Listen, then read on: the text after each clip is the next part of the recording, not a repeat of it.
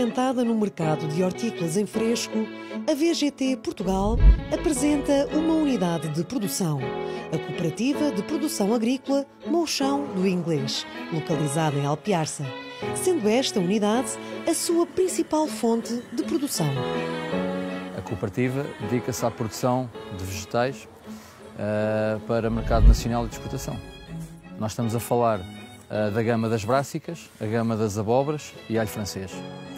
Depois ainda fazemos algumas culturas para conseguirmos fazer uma rotação adequada à própria produção das principais uh, culturas.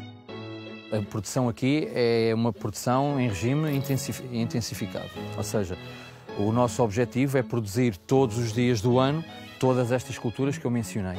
Para isso também não contamos só com esta área de produção, contamos depois com outros produtores agregados à cooperativa e que por isto, pelo seu resultado desta equação, permite-nos ter disponibilidade diária de produto, quer para exportação, quer para o mercado nacional. A VGT exporta grande parte da sua produção, tendo o norte e centro da Europa como principais clientes. A exportação para a VGT representa 70% da faturação. Ah, é um mercado bastante dinâmico e que absorve todos os produtos que, que trabalhamos, ou 90%. Existe uma especificidade que não é mercado de exportação, que é mais para o mercado nacional. De resto, trabalhamos as brássicas, onde temos a couve-coração, temos a couve-lombarda, temos também a couve-coração roxa, onde somos únicos na Europa a produzir que é uma particularidade e muito procurada. E depois temos a gama das abóboras, em que trabalhamos todo o tipo de abóboras. A abóbora manteiga, usualmente conhecida como abóbora butternut, temos a abóbora musquê uh, e vamos trabalhando as aluínas, hokkaidos, conforme as necessidades de cliente. Os principais mercados de destino da VGT são o norte e centro da Europa.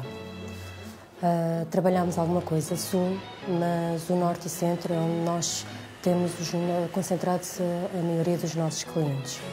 Uh, desde que houve o surto do, do Covid, uh, notou-se algumas diferenças de comportamento em termos de clientes. No entanto, as principais características ficaram inalteradas.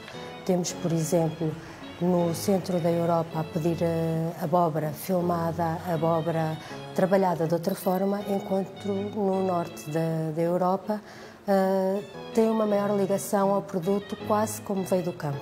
Pouco trabalhado, apenas o necessário uh, para ver a qualidade e, e aquilo que eles mais valorizam neste tipo de produto. Com produção durante todo o ano, a escolha das culturas está relacionada com diversos fatores. É um somatório de, de, de alguns parâmetros. Primeiro, uh, ter um mercado vertical, ter um negócio vertical. E quando nós dizemos um negócio vertical, é um negócio que nos permite produzir sem ter problemas de escoamento de produto.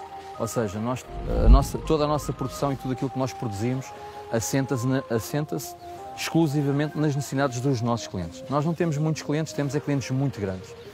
E verticalmente conseguimos então produzir sem nunca estar preocupados com a parte da comercialização o nosso crescimento representa sempre o crescimento dos nossos clientes, quer cá dentro, quer lá fora. Nós trabalhamos sempre uma temporada à frente, preparamos para aquilo que poderá vir. E isto dá-nos uh, formas e estratégias, ajuda-nos a definir estratégias para irmos de encontro àquilo que vão ser as tendências. Uh, em termos de valorização de produto e a nossa forma de trabalhar, nós adaptamos à necessidade do cliente. Não, não é o cliente que tem que se adaptar ao nosso core. Posto isto, uh, temos uma equipa jovem que é bastante dinâmica, alguns com, com experiência nos setores, outros noutros. Uh, há pontes dentro da, da, empresa de forma a que todo o trabalho flua e que consigamos cruzar e, e entre nos ajudar em termos de formação e em termos de experiência para conseguirmos apresentar ao cliente o melhor produto. Isto é uma vantagem única porque em termos de, de, de clima, consigamos tirar o melhor dos melhores, acabamos quase, num país tão pequeno, ter bastantes similaridades. Assim, não. Conseguimos, é, é este o fator diferencial, é ter uma equipa que consegue ajustar-se e trazer todo o know-how e convergir num produto diferenciado e trabalhar conforme a necessidade que o cliente tem. Acompanhamos a colheita da couve coração de boi. As peças são escolhidas mediante a qualidade e o tipo de mercado. Para além desta seleção, o combate ao desperdício e a máxima rentabilidade são ferramentas da VGT. A couve-coração é uma cultura que tem, em média, um ciclo cultural de 90 dias. Uh, nós temos variedades próprias enquanto, enquanto empresa, uh, pagamos royalties para ter determinadas variedades uh, e, em média, anualmente, na nossa produção, representam um ciclo de 90 dias. Uh, é uma cultura com uma aptidão natural na nossa região, no nosso clima e, e conseguimos produzir todo o ano. Neste caso específico, nós, em primeiro lugar, fizemos a colheita com as características ideais para o mercado nacional. Após isso, e por uma questão de, de rentabilidade, agora estamos a apanhar as peças de couve-coração que são aptas para fins industriais. E é isso que estamos a ver hoje. É conseguir tentar tirar o máximo de rentabilidade possível de um campo, de uma parcela uh, de couve-coração que, embora não, não preencha os requisitos necessários para o mercado fresco, possamos pôr a indústria. Em termos de rentabilidade, a nível de produção, de, de rentabilidade, temos em média 42 toneladas por hectare. Ou seja, cada 10 mil metros quadrados representam 42, 42 toneladas numa plantação entre 40 a 45 mil plantas por hectare, consoante a época do ano. Uh, e é mais ou menos essa média. É uma média que pode uh, oscilar em números maiores em primavera, números inferiores no verão, porque as condições depois também são muito extremas devido ao calor, às temperaturas, às temperaturas elevadas.